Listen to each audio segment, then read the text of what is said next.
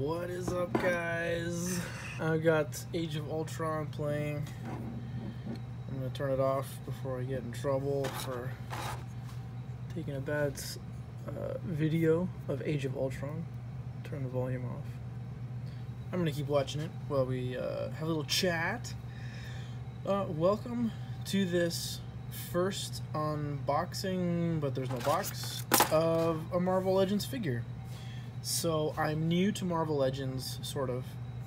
The very first Marvel Legends figure that I ever got, I actually kind of forget where I got it. I think I got it from my sister-in-law's house.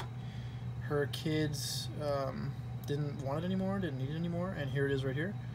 It's the Mark 42 Iron Man armor. Um, as you can see, this figure has been well loved. This is the condition that I got it in, but um, this has just been kind of kicking around my basement nerdy stuff for a while, and then just as I recently discovered uh, the rest of Marvel Legends, I kind of realized, wait a minute, I already have a Marvel Legend figure. So, yeah, so I have a Marvel, Marvel Legend figure. But today I wanted to take the first Marvel Legend figure out of the package.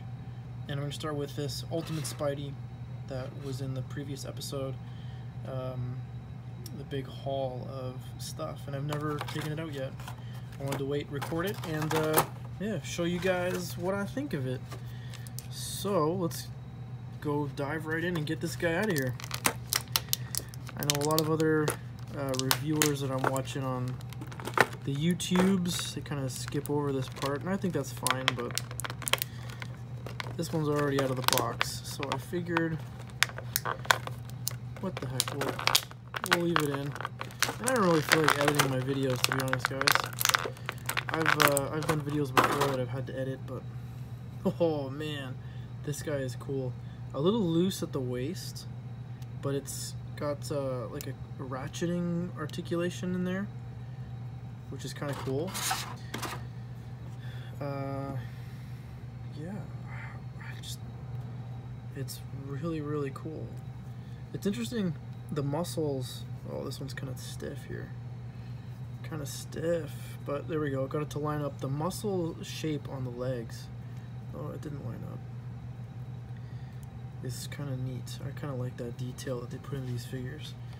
So let's take a, a close look at that Spidey head. Try to use my lighting to the best effect. I love this look for Spider-Man because this is Ultimate Spidey um, as illustrated by Mark Bagley. He did the pencils for the first like 100 and I don't know 115 issues of Ultimate Spider-Man and then they had it was nope the name escapes me I was gonna say a name but then I'm like no that's not it someone else do them, and then Bagley, Mark Bagley came back, and I just love Bagley's style. So this Spider-Man, I'm really, really excited about it. Oh, it's ratcheting ab crunch too. I did not expect it to be ratcheting, like a Revoltech kind of thing. That's pretty good. He looks straight up. He looks down pretty good. Let's get uh, let's get these hands off. So there's only one whipping hand. The other hands are for wall crawling. Let's take the fist hand off. Oh. I hope I don't break it, and I hope I don't knock over the camera. Because that would suck, because it's my phone. There we go. We got it. Okay. Let's get a wall crawling hand out of this package. Gently, gently I don't want to go flying across the basement, because that would suck too. Okay. I hope it fits. This is my first time swapping parts on a Marvel Legends figure, so I hope I don't have to like trim that, clean up this flashing here. I don't know. I don't know, guys. I'm new to this. This is kind of fun. New toys. Okay, cool. That went in really easy. No issues, no problems. Let's let's change this hand too. Let's make him crawl some walls. Let's see if we can get some of the the classic. So the classic kind of issues of Ultimate Spider-Man are the first five issues. Issue one uh, hard to find. Obviously, it's issue one. But then what happened was because Marvel didn't know how the the issue how the, the uh, comic book was being received, issue five was actually a short run. So if you ever see an issue five out in the wild, uh, you need to snap it up if it's at a reasonable price because issue five was a very very short printing. Double jointed knees. Does the foot move forward? It doesn't have the the, the articulated toes, so it's gonna be hard to pose this guy in a super kind of ultimate Spidey way. But yeah, I don't know. It's pretty sweet though. I like it. I like it a lot.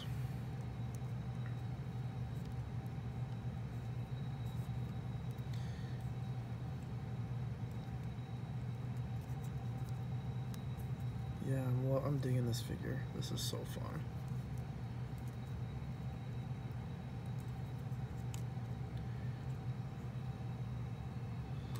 Spidey crawling away. Yeah, I'm kind of wishing. Oh, okay. So the toe points like he's gonna do some ballet or something, but to get the the toes pointing up, I don't think it's gonna do it, which is unfortunate. That's probably the only thing I don't like about the figures. The, the you can't point the toes up. So for like a super articulated Spider-Man toy, you'd kind of hope he could do that. So that'd be some constructive criticism for the fine ladies and gentlemen at, at Hasbro. But I know this is an older figure. Um, let me just look up a picture of Ultimate Spider-Man. I had all the comic books, but I sold them because I was putting a lot of time and money into comic books. And I didn't want to do that anymore. I want to do other things.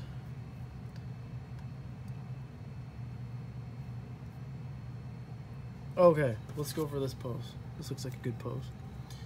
So he's kind of looking down. He's got his arm straight back like this, like he's flying through the air. Another arm straight back just like this. This one we can actually do. Ab crunch forward. Leg way up in the... Oh, hang on a sec. Leg down, leg up. Okay, it doesn't go up as high as I thought it would. It's okay, we can compensate by angling it out. And then this leg goes all the way up underneath, like so. And there you go. There's the one of the collected collections of Ultimate Spidey, the cover art, pose. Let's see if I can get it right.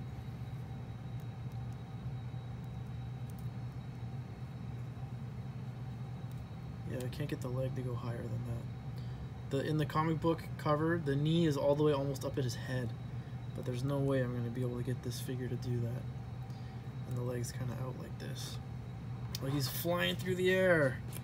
Okay, one more thing I want to do. While we've got him in this Spidey-like pose, I'm going to put the flipping hand back on.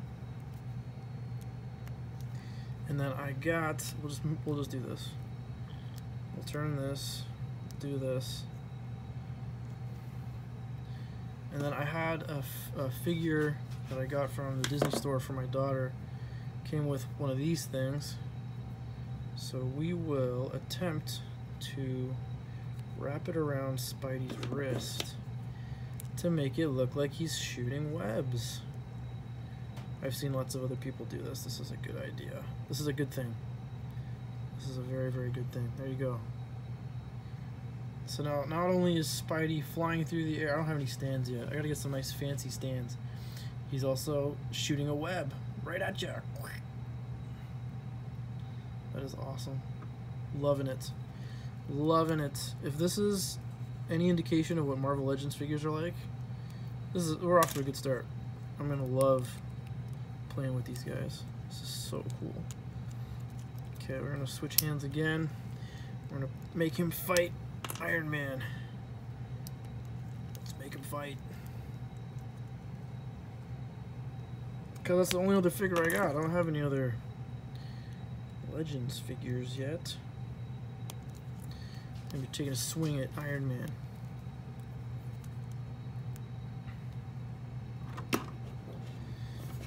Winding up. Gonna get into a knuckle duster with Iron Man. Stay there. Don't move. Okay, lie down for a minute. Iron Man's got to get into a dynamic pose too.